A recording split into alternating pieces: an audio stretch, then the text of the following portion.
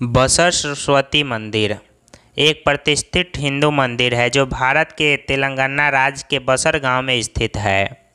यह मंदिर ज्ञान, संगीत, कला और बुद्धि की देवी देवी सरस्वती को समर्पित है।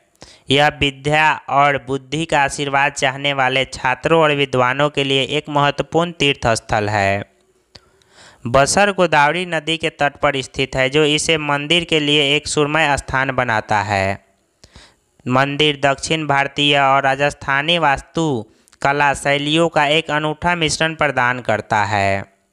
इसमें चांदी से सुसज्जित देवी सरस्वती की सफ़ेद संगमरमर की मूर्ति है।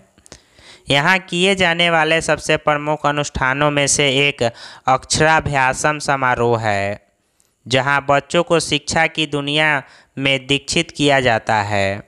माता पिता अपने बच्चों को उनकी शिक्षा की सफल शुरुआत के लिए देवी सरस्वती का आशीर्वाद लेने के लिए मंदिर में लाते हैं।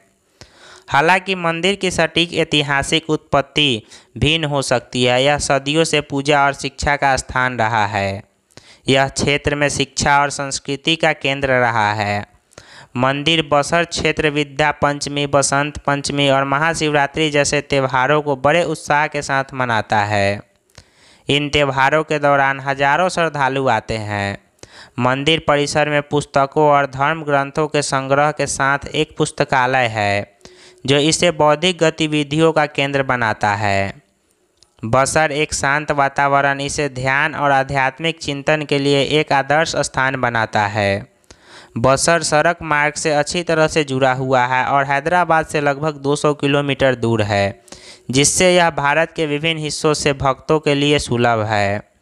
बसर सरस्वती मंदिर अत्यधिक धार्मिक और सांस्कृतिक महत्व रखता है, जो इसे भक्तों और ज्ञान चाहने वालों के लिए समान रूप से एक पसंदीदा स्थान बनाता है। ऐसे ही मंदिरों से जुड़ी जानकारी और उनके बारे में जानने के लिए हमारे वीडियोज़ देखें, चैनल को सब्सक्राइब करें और वीडियो को शेयर करें।